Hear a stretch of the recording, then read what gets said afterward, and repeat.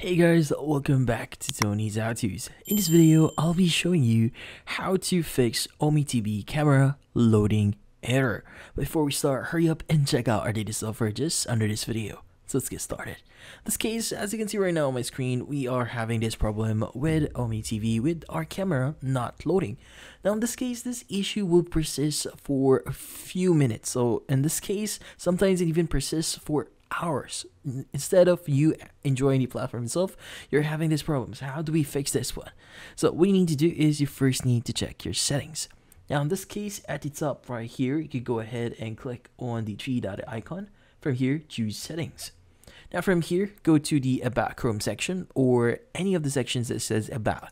Typically, it's going to check if your browser is up to date. So in this case, make sure your browser is up to date as well. Now, in this case, another thing you need to check here is going to be your privacy and security. Let's go ahead and click on it. Now from here, what we need to do is we need to go to site settings.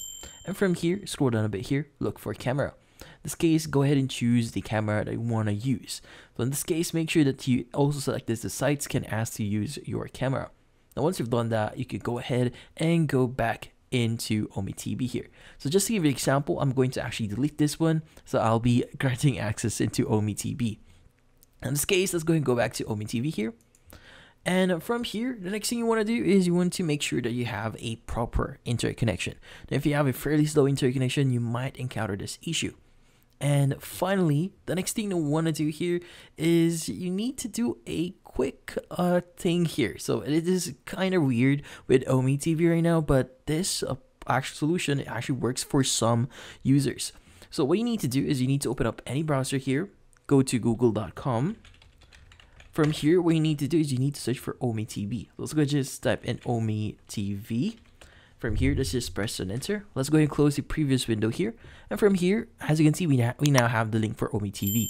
So in this case, instead of opening this link here, you need to right click or yeah, right click on it. And from here, you need to click on the option that says open link in new window or sorry, my bad, right click on it and you want to click on open link in new tab. Now, in this case, instead of going there, wait for at least 10 seconds or one minute. So 10 seconds to one minute. So in this case, just count one, two, three, four, five, six, seven, eight, nine, ten.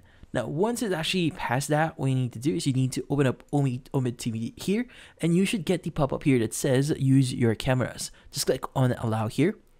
And once you've done that, it's now it should now use your camera here, as you can see right now on my screen. So this one is kind of weird, but then again, some users or this method actually works on some users.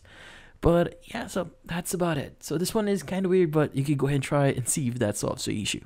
So if you found this video helpful, hit the like and subscribe button and watch our next video.